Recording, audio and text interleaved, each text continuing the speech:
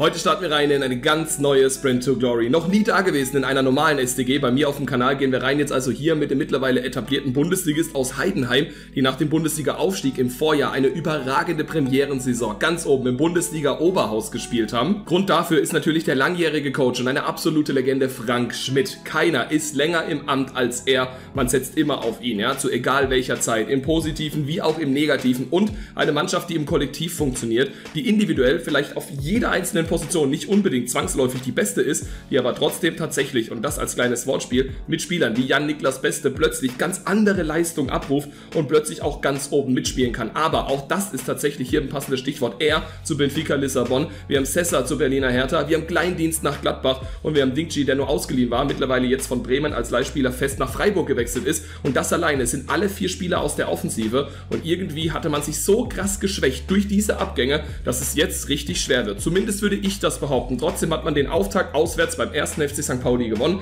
die aber auch nur in Anführungszeichen Aufsteiger waren. Und für uns heißt es jetzt, Kleindienst wird verkauft, genauso Sessa und auch Beste. Dingchi werden wir natürlich auch die Leihe abbrechen und dann werden wir einen kompletten Umbruch durchführen. Nicht nur mit diesen Spielern, sondern auch mit allen anderen, denn Frank Schmidt und eigentlich das typische Thema Fahndungsraster Herangehensweise vom ersten FC Heidenheim werden wir von Bord werfen und komplett auf junge Talente setzen und diese Mannschaft so weit bringen, dass sie irgendwann ganz oben in der Bundesliga steht, europäisch spielt und vielleicht auch einen Titel gewinnt. Ganz egal, ob national oder international. Ach, was ich noch ganz kurz vergessen habe, bevor wir jetzt so richtig reinstarten, ja, wir werden alle Spieler verkaufen oder größtenteils, zumindest das, was natürlich möglich ist, werden dann alle Neuzugänge präsentieren. Wenn euch dieses Video aber gefällt, lasst super gerne natürlich auch hier selbstverständlich einen Daumen nach oben da, schreibt einen Kommentar und abonniert auch gerne kostenlos, um nichts mehr zu verpassen. Das war's soweit von mir. Jetzt setze ich mich ran, das wird eine Zeit lang dauern. Für euch ist es aber nur ein Schnitt, ein Cut und dann bin ich gleich wieder da. Erstmal ganz kurz für euch. Wir haben den Jugendscout geholt, wir hatten noch das Geld. Lars Hendricks, 5 Sterne Erfahrung, genauso auch Einschätzung. Der geht für 9 Monate nach Deutschland und bringt uns hoffentlich den einen oder anderen Spieler, entweder vielleicht sogar für die Startelf,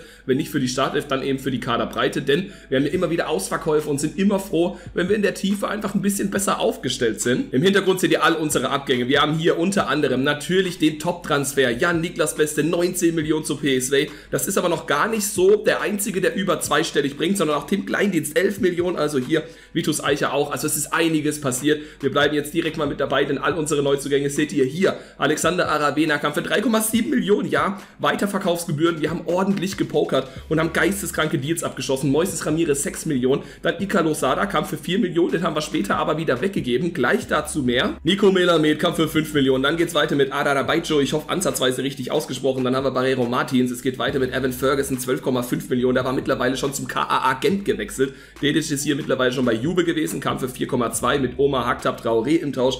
Hinten rechts also Neuzugang. Hinten links haben wir Björn Mayer. Wir haben dann hier Eduardo Quaresma für die Innenverteidigung. Wir haben Miretti ebenfalls Neuzugang von Juve fürs Zentrum. Und wir haben hier noch Mohamed Ali Joe. 7 Millionen plus Ika Losada. Das Ganze also im Tausch. Und genau deshalb haben wir den dann auch wieder weggepackt. Und das bedeutet also auch dann, das ist unsere Mannschaft in Bestbesetzung. Vom Anfangskader ist wirklich niemand mehr übrig geblieben. Es war der erwünschte Umbruch, der richtig erfolgreich war und der hoffentlich auch Erfolg für uns sportlich bringt. Vielleicht nicht jetzt effektiv im ersten Jahr, aber dann in Jahr Nummer 2, 3 oder 4, je nachdem wie lange wir brauchen, aber wir haben eine gute Grundlage, wir haben richtig geile Spieler, haben uns im Kollektiv verbessert und sind vor allem mit überall Minimum einem 82er Potenzial ausgestattet. Da haben wir sie also, unsere Mannschaft, die sich dann doch recht prächtig entwickelt hat. Allerdings Melamed, der zum Beispiel sagt, hey, ich möchte wechseln, heißt, er bekommt eigentlich keine Einsatzzeit. Mal gucken, was der Co-Trainer da wieder so ein bisschen fabriziert hat. Wir haben dreimal die Null bei Ramirez, die meisten Vorlagen, acht bei Miretti, der so lange ausgefallen ist jetzt zuletzt, also zumindest mal hinten raus mit acht, haben wir dann auch acht bei Ferguson, fünf bei Mohamed Ali Joe. Wir haben genauso auch Mohamed Ali Joe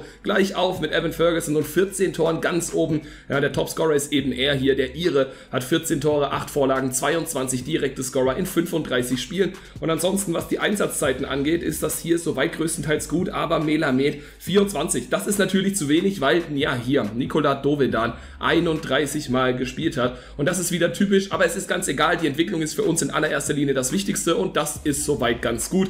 Auf der Tabelle stehen wir auf 13, haben 34 Punkte, 9 Punkte Vorsprung auf die Relegation, sogar 12 auf den direkten Abstieg. Da trifft es Bochum und Augsburg und damit ist es mehr oder minder recht souverän. Nichtsdestotrotz sind wir weit weg von der typischen ja, 40-Punkte-Marke. Runde 2 im Pokal ist die Einstiegsrunde für uns. Da gab es ein 4 zu 2 in dem Deutsche Bankpark bei Frankfurt. Also auch hier keine Chance. Manager-Rating ist im orangefarbenen Bereich, heißt aber erstmal noch nichts, denn wir sind 13. weiter erstklassig, haben einen komplett Torumbruch hinter uns und können jetzt punktuell immer wieder die Position ausbessern, die wir eben ausbessern möchten. Mit insgesamt 33 Millionen auf dem Konto Startbudget zum Auftakt der zweiten Saison werden wir auf jeden Fall zwei Positionen ändern. Und das ist die von Melamed, denn der möchte weg und dann will ich ihm da auch nicht im Wege stehen. Und Ramirez hinten will ich auch ersetzen. Und vielleicht, wenn man beide im Tausch dagegen gibt, könnte man vielleicht auch da schon, ja, so zwei mitbeste neue Spieler für unsere Mannschaft auf jeden Fall dazu gewinnen, denn beide könnte man schon so mit einem 80er Rating holen, zumindest mal Stand aktuell, meine Einschätzung. Vielleicht aber ist das auch etwas zu hoch gepokert. Wir schauen einfach mal, ich will einen neuen Zehner, ich will einen neuen Torhüter. Und falls dann noch was passiert, dann natürlich auch das, aber erstmal ist das Prio Nummer 1. Angel Gomez kommt aus Lille, ehemaliges großes Talent bei Manchester United, vielversprechend, nichtsdestotrotz den ganz großen Sprung hat er noch nie geschafft, aber er ist trotzdem tatsächlich nicht mehr nur das ewige Talent, sondern mittlerweile ein gestandener Profi. Das Ganze in der Liga A kostet uns 10 Millionen und eben Melamed im Tausch. Und ich hoffe, dass er als Ursprungsachter problemlos als Zehner umtrainiert werden kann und vielleicht auch jetzt schon eine 78 hat oder spätestens dann mit Positionswechsel auf eine 78 oder gar 79 geht. Und so haben wir noch immer 20 Millionen, holen eine neue Nummer 1 noch immer, heißt auch Moises Ramirez gerne im Tausch und das hier wird unsere neue Nummer 7, ja, wie ihr es gerade schon mal gesehen habt, Angel Gomez nach Heidenheim. Wir haben André Lunin als neue Nummer 1. Auslaufender Spielervertrag kommt von Real Madrid, 23,5 Millionen, Moises Ramirez 14,7 zu Sporting Lissabon und dementsprechend haben wir jetzt hier einen weiteren Neuzugang und das sieht doch schon mal richtig gut für uns aus. Wir haben tatsächlich auch noch 10 Millionen, vielleicht gehen wir hier mit dem nächsten schwächsten Spieler, das ist in dem Fall eben hier Eduardo Quaresma, der hat nur eine 76, könnte man vielleicht auch mit einem Tauschstil verbinden, dann wäre man da nochmal besser, aber ich glaube schon, mit etwas Glück und vor allem keinem Verletzungspech oder so, könnte man am Ende der zweiten Spielzeit, also die jetzt dann anstehende und vor uns stehende, ja, die 80 im Kollektiv erreichen. Also da bin ich fest davon überzeugt. Ich weiß jetzt nicht, inwieweit ich mich vielleicht damit verzockt hatte. 7 Millionen und Quaresma im Tausch, das Ganze für Maxon Lacroix der also hier mit einem auslaufenden Spielervertrag aus Wolfsburg kommt, hat ein 84er Potenzial, mit dem Gehalt klappt auch alles. Wir haben dann auch noch Geld, um auslaufende Spielerverträge zu verlängern, plus natürlich auch zu schauen, dass wir wieder den Jugendscout nach Deutschland rausschicken. Denn wir werden da einfach wirklich in Deutschland immer schauen, denn auch Heidenheim ist ja gar nicht so unbekannt für ihre Jugendarbeit, beziehungsweise gut, die Spieler sind dann meistens nicht mehr beim ersten FC Heidenheim, wenn sie ihr Profidebüt machen, aber sie haben halt irgendwie immer auch so ein bisschen den Hintergrund, dass man beim FCH mal gespielt hat und oftmals hat man ja dann doch auch irgendwo so ein paar Ansätze. Was ich ganz, ganz geil finde, Lacroix plus 2 besser. Also, das ist tatsächlich dann auch wieder so unser Verdienst. Das große Ziel, wie gesagt, die 80 plus im Kollektiv, jetzt Entwicklungspläne, Jugendscout, auslaufende Spielerverträge, alles drum und dran. Ihr wisst ja, wie es läuft und dann sehen wir uns am Ende der zweiten Spielzeit. Hoffentlich mit einem besseren Ergebnis als Rang 13 aus dem ersten Jahr. Es ist brutal absurd. Wir haben einfach trotz gleicher Tordifferenz und gleicher Punktzahl, aber aufgrund mehr geschossener Tore Platz 4 innehalten können. Und das gleich auch mit dem VfL Wolfsburg. Ein Punkt vor Dortmund, zwei vor Leipzig, zwei hinter Leverkusen, acht hinter Hoffenheim und die Bayern mit nur einer Saisonniederlage stehen da also oben mit 83 Punkten auf Platz 1. Wir spielen mit Heidenheim nächstes Jahr Champions League. Ist euch das bewusst? Und wir spielen nicht nur Champions League, sondern vielleicht auch den Supercup, denn wir stehen im Finale des DFB-Pokals. Leipzig dort unser Gegner. Unser Weg führte hier über ein 3 zu 2 in Hamburg, ein 1 zu 0 auch gegen ein Team aus Hamburg, den ersten FC St. Pauli, dann ein 3 zu 2 über Wolfsburg, ein 3-1 in Hannover und jetzt eben kommt Leipzig. Und da gehen wir gleich direkt jetzt einfach im One-Take mit rein. Können wir den ersten Titel holen im Olympiastadion? Leipzig hat gegenüber uns, was die Champions League Plätze angeht, in der Liga den kürzeren gezogen. Vielleicht aber gibt es dafür die Revanche im Pokal. Ja, es ist Benjamin Cesco in Minute 11. Es ist das 1 zu 0, das verlorene Finale, aber es ist absolut nicht wild, denn wir stehen auf Platz 4 und nächstes Jahr in der Champions League. Natürlich aber wollten wir ja auch Titel gewinnen. Nichtsdestotrotz, man muss das natürlich so ein bisschen abwiegen, ja, denn wir waren jetzt hier einfach im DFB-Pokalfinale. Wir sind Vierter in der Liga. Wir schauen ganz kurz auf die Statistik. Sind siebenmal die Null bei André Lunin, neun Torvorlagen Ankel Gomez, dann haben wir acht bei Barrero Martin, sechs Miretti, fünf bei Joe. Den Rest darunter seht ihr auch. 19 Tore Alexander Aravena, plus sechs in einem Jahr und der war auch noch ein paar Wochen raus, verletzungsbedingt. 17 Tore hier bei Ferguson und wir haben dann noch 12 bei Joe, also dreimal zweistellig, aber auch 9-9 bei Angel Gomez ist wirklich super. Mit 18 direkten Scorern in 38 Spielen ist er dann nahezu bei jedem zweiten Spiel erfolgreich, zumindest wenn man den Durchschnitt berechnet. Ja, es ist nur Lacroix, der nicht die 8 vom Gesamtrating hat.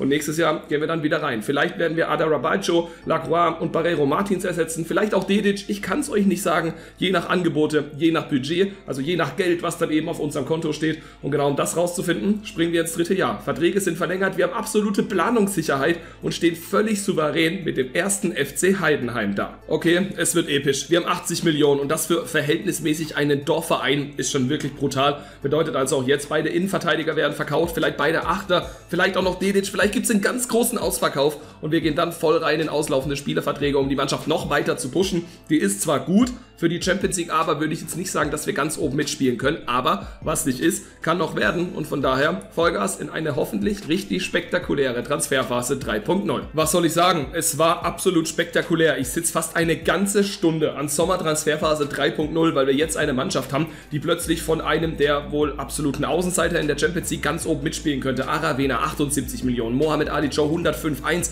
Miretti 68, weiter geht's Ada Jabayo, Ada Rabajo, irgendwie so 28 120, Ferguson 108, Dedic 36, Lacroix 32, Meyer 47,5 und Angel Gomez über 50 nach nur einem Jahr weg, Leandro Barrero Martins für 38 zu Hoffenheim. Und dann haben wir eingekauft. Und jetzt wird es absolut episch. Achtung, Ohrenspitzen, Augen auf. Wir haben eine Mannschaft geformt, die sich sehen lassen kann. Wir haben Mike Manja für 15,5 Millionen mit André Lunin im Tausch als neuen Torhüter. Da haben wir Ashraf Hakimi 44 Millionen, Ike Nuri im Tausch, den wir zuvor eben hier geholt hatten für 30 Millionen. Vivian auch für 31,1 Millionen geholt. Dann wieder dagegen gegeben eben hier bei Lucas Hernandez. Nee, stimmt gar nicht. Bei Konate für 42 Millionen eben noch Vivian dazu. Wir haben Ian Marzen für 28 als neuen linken Außenverteidiger. Gabri Vega kam für 38 47, der dann wiederum aber auch wieder in einem Tauschdeal verwickelt war. Nicht hier bei Ruben Neves, der kam für 47, aber bei Nicolo Barella 10 und Gabri Vega im Tausch. Dann haben wir Thiago Almada für 52, Donjen Malen für 50, Gierkeres für 79 und Christian Kühlwetter im Tausch. Plus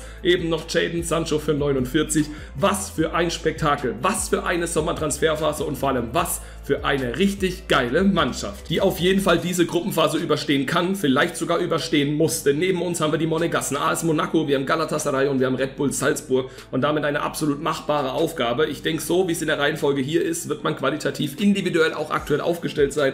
Von daher sind wir der Favorit, zumindest in der Gruppenphase. Werden dieser Rolle hoffentlich gerecht.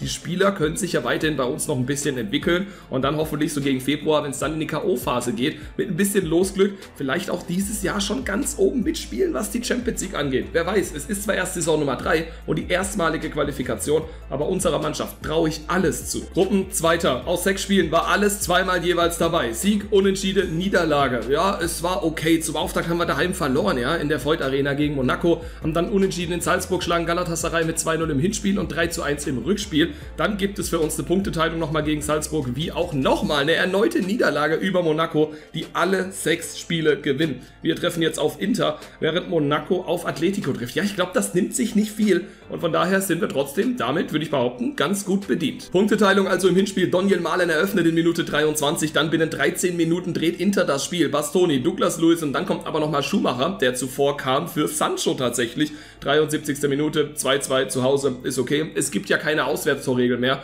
Von daher reicht uns ein einfacher Sieg, in Anführungszeichen, im San Siro. Nur ganz so einfach wird das natürlich nicht. Wir gewinnen das Spiel im San Siro. Gyukeres eröffnet kurz vor der Pause, kurz danach ist es dann Santiago Jiménez. Ich nehme zumindest mal an, dass das der Mexikaner ist. Dann sind wir in Unterzahl. Meier braucht zwölf Minuten für eine Gelb-Rot. Wer ist denn eigentlich dieser Meier? Hä, ist das ein Stammspieler? Ah, nee, der hat jetzt Lucas Hernandez ersetzt, der eben ja gesperrt in diesem Spiel gefehlt hat. Das gleiche trifft Meier dann im nächsten Spiel. Und dann Almada, trotz Unterzahl, 86. Minute. Führungstreffer, Siegtreffer, Matchwinner mit einem 4 zu 3 in der Gesamtwertung heißt es also Viertelfinale. Atletico war der Gegner im Viertelfinale und es ist ein 1 zu 1. Wieder mal ist es also im Hinspiel ein Unentschieden und es ist 50-50 und es entscheidet sich alles im Rückspiel. Im Civitas Wander Metropolitano eröffnet Riquelme und Almada trifft wieder mal recht spät. Also auf den Argentinier können wir uns da wieder mal ein neues ja, mal verlassen. Heißt also 1-1, es ist okay. Ja, in der Void Arena jetzt vor eigenen Rängen wollen wir natürlich dann hier das Halbfinalticket buchen, aber es ist natürlich hier noch gar nichts entschieden. 3 zu 2 und damit reicht es und wir stehen im Halbfinale. Daniel Malen eröffnet, Vitinha verschießt dann einen Elfmeter, Moiskin zwei Minuten später Ausgleich, dann Ruben Neves, dann Keres binnen 11 Minuten, Vitinha dann wieder mal mit der Möglichkeit, diesmal nutzt er sie zwar nicht vom Punkt, sondern aus dem Spiel heraus, aber er trifft, bringt Atletico für eine kurze Zeit nochmal ein bisschen Hoffnung, bringt dann aber nichts gegen gegen unsere hundertprozentige Effizienz in diesem Spiel. Und wieder mal ist es eine ganz enge Kiste. Ich glaube, ist es wieder ein 4 zu 3?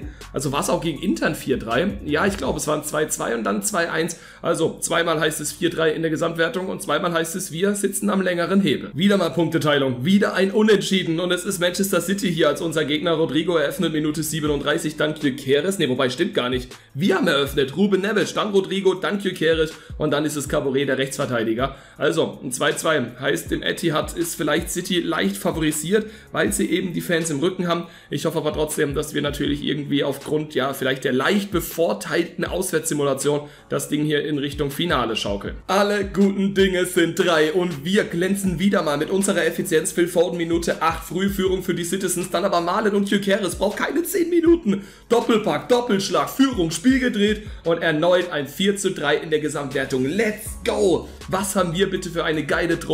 Ich bin sehr gespannt. Im Finale wartet der FC Barcelona, die Paris Saint-Germain also hier nach 3-2 in der Gesamtwertung geschlagen haben. Davor gab es für die Katalanen ein 4-1 über Manchester United und im Achtelfinale ein 3-1 über die Bayern. Also, sie haben bereits der deutsche Mannschaft geschlagen. Ich hoffe, das wiederholt sich nicht. Für uns geht es jetzt nicht mal mehr um den Meisterschaftskampf, denn wir haben 8 Punkte Vorsprung bei noch 6 offenen Punkten, die es maximal zu vergeben gibt. Und dann heißt es voller Fokus auf das Spiel gegen Barca. Wir schlagen Pauli 2 1 und beenden die Saison im Rhein-Energiestadion mit einem 1 zu 1, was aber völlig ausreichend ist, denn wir sind deutscher Meister. Hier dann nochmal offiziell mit 80 Zählern und nur zwei Saisonniederlagen, ja, mit Abstand die beste Defensive und nach Dortmund auch die zweitbeste Offensive. Abgestiegen ist Hertha, Hannover, Pauli muss in die Relegation. Der DFB-Pokal geht in dem Fall an Frankfurt, die Viktoria Köln im Finale schlagen. Für uns war direkt gegen Frankfurt tatsächlich Endstation, aber wir können immerhin sagen, dass wir gegen den Finalisten verloren haben. Unsere Mannschaft in Bestbesetzung, keiner fehlt. Okay, was für eine krasse Entwicklung. Ashraf Hakimi kann ich den mittlerweile als rechten Außenverteidiger umtrainieren. Ich hoffe doch, dann geht er vielleicht auch nochmal hoch. Genauso ist es. Ansonsten heißt es für uns ganz kurz auf die Statistik blicken. Da haben wir mal ein Jahr mit 10 Spielen zu 0. Wir haben 9 Vorlagen Barella, aber auch Sancho. Und wir haben insgesamt 29 Tore Kykeres, 14 Barella und 12 Almada. Plus 11 Daniel Malen. Viermal zweistellig. Gespielt wird, das seht ihr auf der rechten Seite im Estadio Santiago Bernabeu gegen Barca. Und das ist folgende Startelf. Testegen, Balde, Minche und De Licht, die ehemalige Bayern-Innenverteidigung. Jetzt also hier in Barcelona. Araujo, Rechtsverteidiger, Thomas Partey davor, Chalanolo und Petri, rechts Rafinha, links Ferran Torres und vorne Evan Ferguson, ehemaliger Spieler von uns, der zu Barca transferiert wurde oder ist der woanders von uns hin und jetzt dann mittlerweile zu Barca? Ich kann es euch schon gar nicht mehr sagen, aber auf jeden Fall spielen wir in Weiß gegen Barca hier in Blau und Rot in deren Vereinsfarben und das Ganze auf Ultimativ. Ich hab Bock und für euch gibt's die Highlights. Vollgas Fußball, das ist die Devise. Ich denke, das trifft aber auf beide Teams zu. Wir also von links nach rechts, Barca hat Anstoß und wie gesagt, gerade schon mal angesprochen, die Highlights gibt es für euch und ich hoffe, es gibt einige davon. Ja, es darf gerne auch auf beiden Seiten Highlights geben, solange die Mehrzahl oder die ganz erfolgreichen und effektiven Highlights dann für uns sind, für das Team aus Deutschland. Jetzt aber erstmal Ferrer Torres, meint man ja, der ist nicht ganz sicher, wir reiten das Ding fast selber ins eigene Tor und haben dann ganz viel Glück absolutes Tohuwabo im eigenen 5-Meter-Raum. Aber die Chance ist vielleicht auf der anderen Seite auch da, wenn wir hier vorbeikommen. Sechs Minuten, Barca wurde direkt mal brandgefährlich. Wir kamen nicht in die Zweikämpfe und müssen jetzt gucken, dass wir in der Offensive stattfinden. Aber wenn das gelingt, dann muss man mit uns zu jedem Zeitpunkt rechnen. Kykeres auf Malen funktioniert nicht, aber auch wir gehen ein bisschen tiefer in die gegnerische Hälfte ein. Da haben wir jetzt Almada verletzungsbedingt aktuell ein bisschen zurückgeworfen, macht er trotzdem gut und prüft Stegen. Also, jetzt auch erste richtig dicke Möglichkeit auf unserer Seite. Ruben Neves steht beim Eckball, vielleicht auch Standardzone-Sache heute. Schlüssel zum Erfolg bisher noch nicht. Das war nicht ganz so erfolgreich von Ibrahima Konate, aber trotzdem, die Präsenz im gegnerischen 16er ist auch jetzt am Start und genau das wollen wir ja sehen. Sancho, Jaden Sancho, Weltklasse, aber noch besser Marc-André Ter Stegen. Schöner Ball im zentralen Mittelfeld, über Araujo hinten rechts und dann alleine auf Sancho und der tankt sich da durch, macht das gut.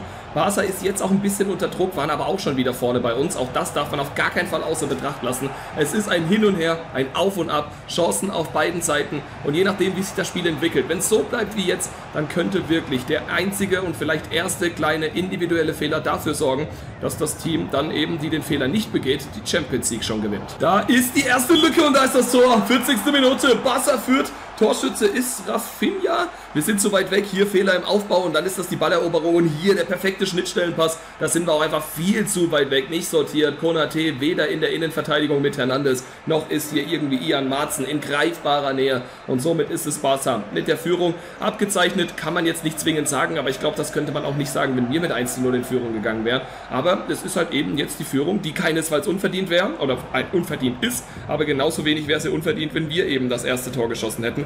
Aber ich glaube, ihr wisst, auf was ich hinaus möchte. Es ist ein 50-50-Spiel und das ist es vielleicht auch weiterhin, wenn wir jetzt eventuell auch mit der nächsten Möglichkeit zum Torerfolg kommen. Da ist der Keres, da ist der Abpraller und da ist der Stegen und dann leider das Abseits. Aber es war wieder brandgefährlich. Die Chancen sind da. Barca jetzt mit einer richtig guten Phase. Wir müssen aufpassen, Aluminium. Das ist Petri und das ist jetzt mittlerweile die dritte oder vierte richtig gute Möglichkeit innerhalb kürzester Zeit. Wir sind da von hinten gar nicht mehr rausgekommen, wurden nahezu belagert und jetzt ist es wieder der nächste Ballverlust. Aber wir haben das Glück und Almada bleibt dran, dann unten Jade Sancho in der Mitte Gyökeres und vielleicht kriegen wir noch ein zweiter, aber nee, da ist dann keiner mehr, der anspielbereit ist. Raus auf Ashraf Hakimi, dann vielleicht eins zurück für Daniel Malen und dann mal in den 16er und dann vielleicht spitzer Winkel. Und wieder finden wir unseren Meister in Marc-André Ter Stegen, der ein überragendes Spiel macht und Barca natürlich auch hier immer wieder vor Toren schützt. Gilkeres kommt zum Kopfball, 62. Minute. Da muss Ter Stegen nicht ran. Wir kriegen es noch nicht hin, aber wir haben noch eine gute halbe Stunde. Zuzüglich Nachspielzeit wird es wahrscheinlich, ja, wirklich eine halbe Stunde. Jetzt Barca, jetzt das Tor und vielleicht die Vorentscheidung. 69. Minute. Ja, und ihr merkt, bei mir ist die Euphorie, die Hoffnung jetzt eigentlich komplett in den Keller gegangen. Aber es ist auch egal theoretisch, wie es ausgeht. Ja, Evan Ferguson trifft also gegen uns, seinen ehemaligen Arbeitgeber. Wir haben die Meisterschaft geholt. Wir waren im Pokalfinale und ihr meintet ja auch ganz häufig in den Kommentaren, wir müssen nicht immer die Champions League gewinnen. Und das finde ich auch cool, denn das bringt noch so ein bisschen Abwechslung. Jetzt aber erstmal Almada. Und dann bin ich hier vom Controller-Knüppel abgerutscht. Ansonsten wäre vielleicht der letzte Schritt auch noch nach unten gegangen. Egal, wir probieren es, ja. 18 Minuten. Ich glaube, im Fußball kann jederzeit immer und ja, jederzeit alles passieren. Von daher einfach dranbleiben, gucken, Gas geben, das Beste draus machen. Jetzt haben wir vielleicht die nächste Möglichkeit. Unten mitgelaufen, der Pass ist Weltklasse, der Kopfball ist dann aber nicht so gut, dass der Verteidiger Matthijs der Licht nicht mehr rankommen könnte. Deswegen hat das Ding eine Viertelstunde noch. Barca ist auf dem besten Weg, die Champions League zu gewinnen. Außer wir tanken uns jetzt mal durch. Gyökeres, der ist jetzt vor Ter Stegen, aber dann im letzten Moment Araujo dazwischen. Und auch da wird er im letzten Moment gehindert dran, das Ding problemlos einzuschweißen. Och man, es soll heute nicht sein. Aber egal, ja, auch das gehört natürlich zum Fußball dazu. Was macht denn Konaté jetzt mit diesem Pass? Keine Ahnung, wo die Kugel hin sollte. Die Chance kurz vor der Pause, das war sie eigentlich. Und ich wollte nicht auf den Spieler spielen, der da dann den Abschluss hatte, sondern vielmehr, ich glaube, noch eins weiterleiten. Das hat dann aber so auch nicht funktioniert. Aber naja, ein paar Minuten noch. Und vielleicht gelingt uns ja irgendwie noch ein kleines Wunder. Und genau das bräuchten wir heute. Denn es sind nur noch ein paar wenige Minuten zu spielen. Das ist Gyökeres. Und jetzt nochmal nach oben, weil der Ball wieder verspringt. Daniel Malen. Es ist unfassbar. Gyökeres Abschluss, der Stegen. Und auch der Abpraller ist wieder zu weit weg. Ja, es soll nicht sein, aber trotzdem habe ich so das Gefühl, dass es nicht unverdient ist, weil Barca halt auch richtig gut im Spiel war und mal mindestens genauso wie wir, vielleicht sogar ein bisschen besser. Aber wir haben gekämpft, gemacht und getan und das war doch kein Foul. Aber ja, das war's. Barca ist Champions League-Sieger gegen uns. Wir schauen uns noch ganz kurz natürlich dann gleich die Siegerehrung an und müssen dann als bitterer Verlierer aus diesem Ding raus. Aber wir haben die Meisterschaft und damit unseren einen Titel, den wir wollten und haben ja Heidenheim nach ganz, ganz oben gebracht mit stellvertretend Frank Schmidt als Coach, dem FCH. Wir lassen jetzt einfach die Jubelszenen mal so ein bisschen im Hintergrund laufen. Ihr seht ja dann gleich wahrscheinlich auch hier ganz kurz die Siegerehrung. Genauso ist es. Marc-André Ter Stegen ist nicht der Kapitän. Ich weiß gar nicht, wer die Binde hatte, ist aber auch zweitrangig. Wir haben es nicht gewonnen. Glückwunsch natürlich hier an die Katalan. Und damit sind wir dann auch am Ende dieser Sprint to Glory angekommen, die euch hoffentlich gefallen hat. Wenn ja, lasst dem Video super gerne einen Daumen nach oben da, schreibt einen Kommentar und abonniert auch gerne kostenlos, um nichts mehr zu verpassen. Es ist Matthijs de Licht, ehemaliger Münchner. Der kennt die Bundesliga und hat jetzt hier einen Bundesligisten, den jetzt amtierenden deutschen Meister, zumindest hier visuell im Karrieremodus geschlagen. Und wir haben es geschafft. Also, macht's gut, haut rein, bis zum nächsten Mal und ciao.